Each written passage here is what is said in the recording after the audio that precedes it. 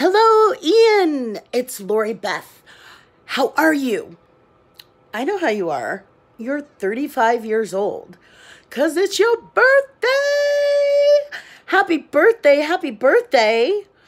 Happy birthday during the strangest time that we've been living through. Uh, this disaster movie we're all going through together. So I hope you had a nice, like, quiet, intimate birthday at home.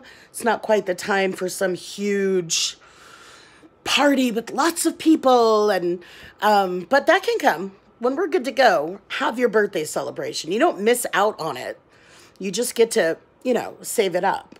If you have another birthday in six months and you get to celebrate this one then it's only six months till your next birthday. So it's really going to work out. It's going to work out in your favor. So uh, your folks, your rents, they told me how awesome you are.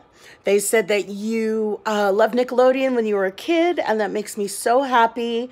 Hopefully, we made you laugh, and uh, it's just really it. It's really special to know that I was part of your childhood. It's hard to put into words. It's really weird.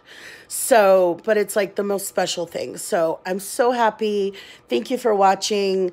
And, um, you know, your parents just want you to know that they are so proud of you, that they love you, and they hope it's going to be a great year for you.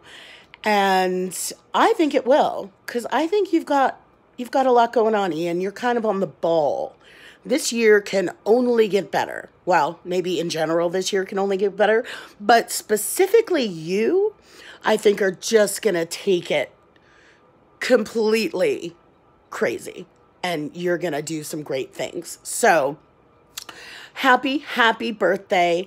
I just really think, look out behind you.